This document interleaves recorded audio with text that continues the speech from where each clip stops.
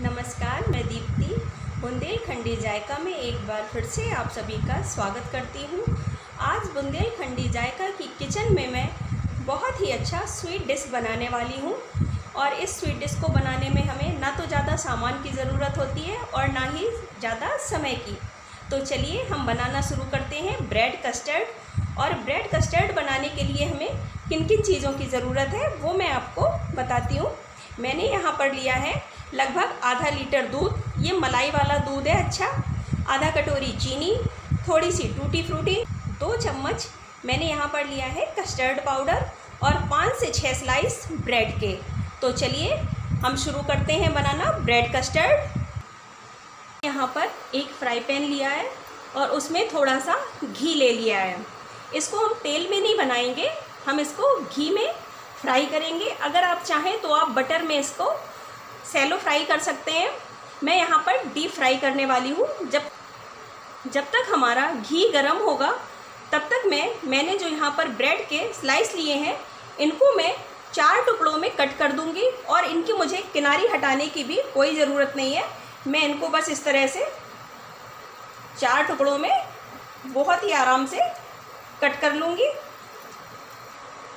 जब तक हमारा घी गर्म हुआ है, मैंने इस तरह से एक ब्रेड के चार पीसेस कट कर लिए हैं और हमें इनकी किनारी निकालने की भी कोई ज़रूरत नहीं है। मैं इनको कट करके साइड में रख लूँगी और जो मेरी टूटी फ्रूटी थी, उस पर मैंने क्या किया है, थोड़ा सा ब्रेड का जो चूरा होता है, वो इसके ऊपर छिड़क दिया है। क्योंकि हम कस्टर्ड बनाने वाले हैं और जब हम टूटी फ्रूटी डालेंगे तो वो जाकर नीचे बैठ जाएगी दूध में। और अगर इसको आपको ऊपर ही रखना है तो थोड़ा सा हम, या तो जब मैं केक वगैरह बनाती हूँ तो मैदा डाल देती हूँ। पर अभी मैं कस्टर्ड बना रही हूँ, दूध में मैदे का टेस्ट अच्छा नहीं लगेगा, इसलिए मैंने थोड़ा सा ब्रेड का चूरा इसमें डाल दिया है।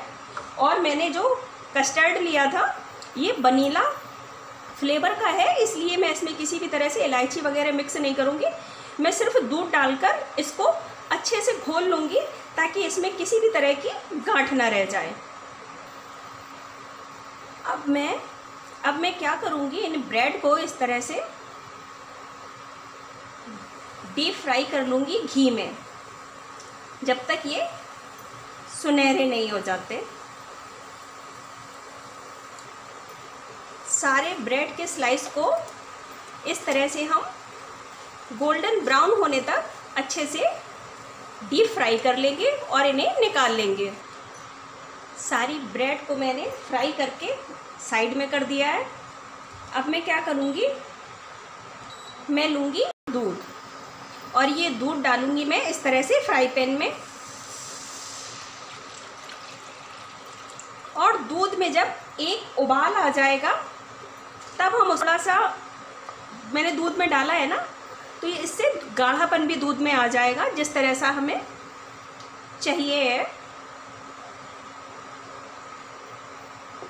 हमें इसे लगभग चार पाँच मिनट तक मीडियम फ्लेम पर इसी तरह से चलाते हुए पका लेना है। जब तक ये थोड़ा सा गाढ़ा नहीं हो जाता और कस्टर्ड भी दूध में अच्छे से घुलकर पक नहीं जाता। मेरा ये वनीला फ्लेवर का कस्टर्ड पाउडर है। अगर आपका सादा कस्टर्ड पाउडर हो तो आप उसमें फ्लेवर के लिए दो से तीन इलायची का पाउडर भी ऐड कर सकते हैं। लीजिए।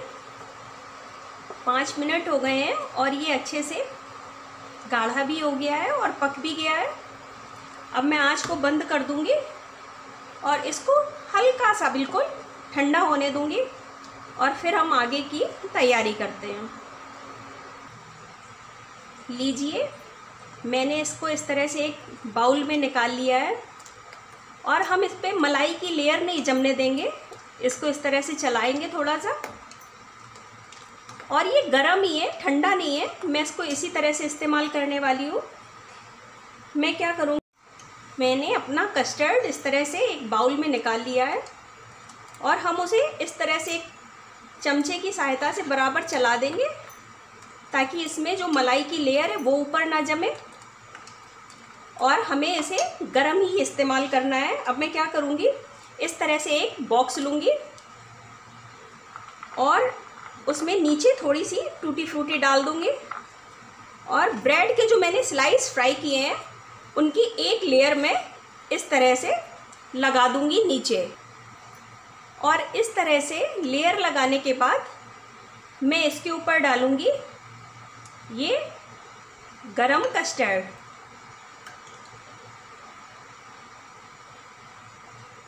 ये बनने में जितना आसान है, ये खाने में उतना ही टेस्टी लगता है। और आपका जब भी कुछ स्वीट खाने का मन हो, आप इसे फटाफट बना सकते हैं। इस तरह से मैंने इसके ऊपर कस्टर्ड की लेयर लगा दी है। और अब मैं फिर से थोड़ी सी टूटी फ्रूटी इसके ऊपर इस तरह से डाल दूँगी। और फिर से एक लेयर इस पर मैं ब्रेड की लगा दूँगी।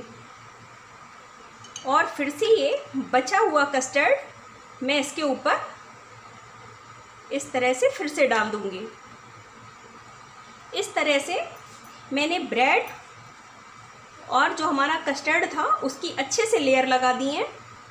और कस्टर्ड गरम है तो जैसे ही ब्रेड में जाएगा, ब्रेड बहुत अच्छे से सॉफ्ट हो जाएगी। और हम फिर से इसके ऊपर ये टूटी फ्रूटी थोड़ी सी डाल देंगे। अभी ये पूरी तरह से रेडी नहीं है। इसको हम क्या करेंगे? इस तरह से मैं ऊपर से ढक्कन लगाऊँगी इसके ऊपर